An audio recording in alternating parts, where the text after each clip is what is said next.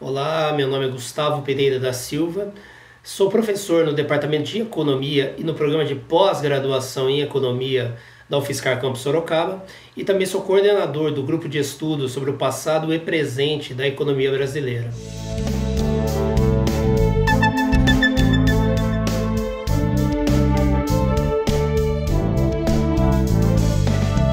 Ah, as minhas pesquisas, desde o tempo de doutoramento no Instituto de Economia da Unicamp,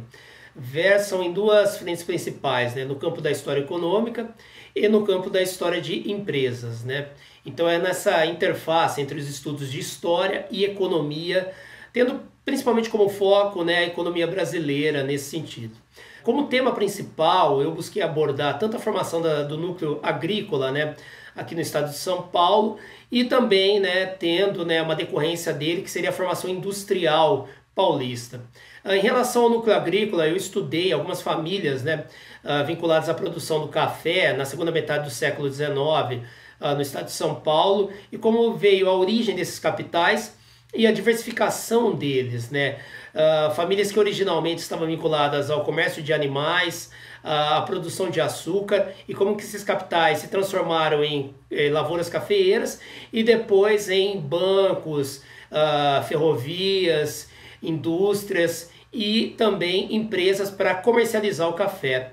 A principal dessas empresas comercializadoras de café que eu analisei foi a JF de Lacerda e Companhia. E ela me permitiu aprender que uh, eram poucas empresas brasileiras uh, vinculadas né, ao comércio de exportação do café paulista em Santos. E uh, esse cenário ele foi, ele vem desde o final do século XIX e foi mantido, né, pelo menos até os anos da Primeira República. O cenário esse marcado pelo predomínio de empresas internacionais, alemãs, estadunidenses, francesas, inglesas, que controlam em boa medida a exportação do café brasileiro, e poucas empresas brasileiras que acabaram aparecendo de maneira quase que esporádica.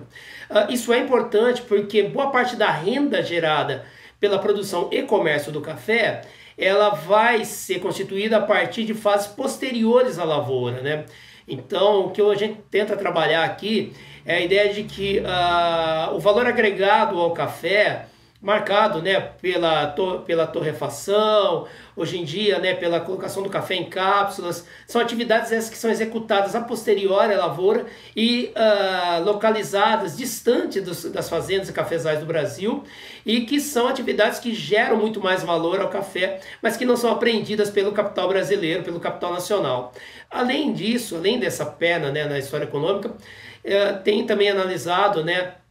a formação de grupos empresariais, sobretudo na indústria brasileira, tendo como foco grupos que tenham sido formados aí na primeira metade da, da, do século XX. O principal deles que eu tenho né, executado minhas pesquisas é o Grupo Votorantim, que foi criado no final do século XIX, em 1891, pelo principal banco atuante no estado de São Paulo à época. Uh, esse grupo né, veio, né, surgiu a partir da formação da fábrica têxtil Votorantim, na região de Sorocaba, Uh, essa fábrica se tornou uma das maiores empresas têxteis do estado de São Paulo e a partir dos anos 1930 passou né, o grupo a, a atuar no setor industrial de base da economia brasileira, tendo a fábrica têxtil e outras empresas constituintes do grupo uh, atuando né, na produção de cimento, cal, ferro, aço, mais adiante zinco, alumínio, fazendo do Grupo Votorantim o principal grupo industrial brasileiro uh, no, no, nos anos 1970, condição mantida nas décadas seguintes, e que, além de ter uma participação importante no mercado interno, passou a se internacionalizar no sentido de tentar né, evitar as agruras e os momentos de baixo crescimento da economia nacional e que são né, um fenômeno que vem sendo estudado recentemente, chamado né, de desindustrialização do Brasil. Então eu busco também analisar como que é o comportamento desses grupos empresariais, tendo como foco a Votorantim, frente ao cenário em que a indústria já não tem um peso tão grande quanto tinha durante boa parte do desenvolvimento capitalista brasileiro durante o século XX. Para essas duas pesquisas, e a mensagem que eu quero deixar aqui ao final, elas contam né, em boa medida com uma documentação importante e que tenham acesso né, de maneira mais tranquila, inclusive com base de dados na internet né, para essas fontes primárias. Em relação aos estudos do café, fazendas, né, e do próprio circuito de comercialização, tem importantes bases de dados né, da Hemeroteca Digital Brasileira, na Fundação SEAD, uh, no Arquivo Público do Estado de São Paulo, uh, Centro de Memória da Unicamp,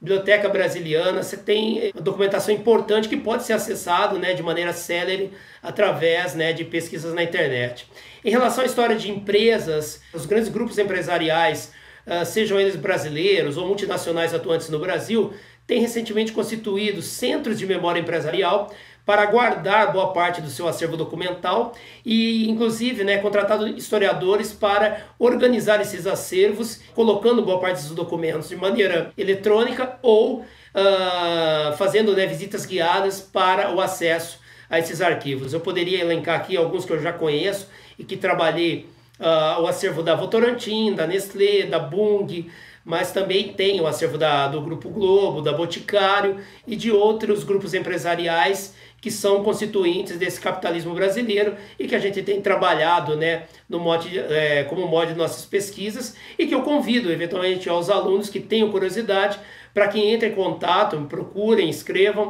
uh, e possam né, ingressar nesse campo de pesquisa que versa sobre a história econômica e a história de empresas uh, vinculadas à economia nacional.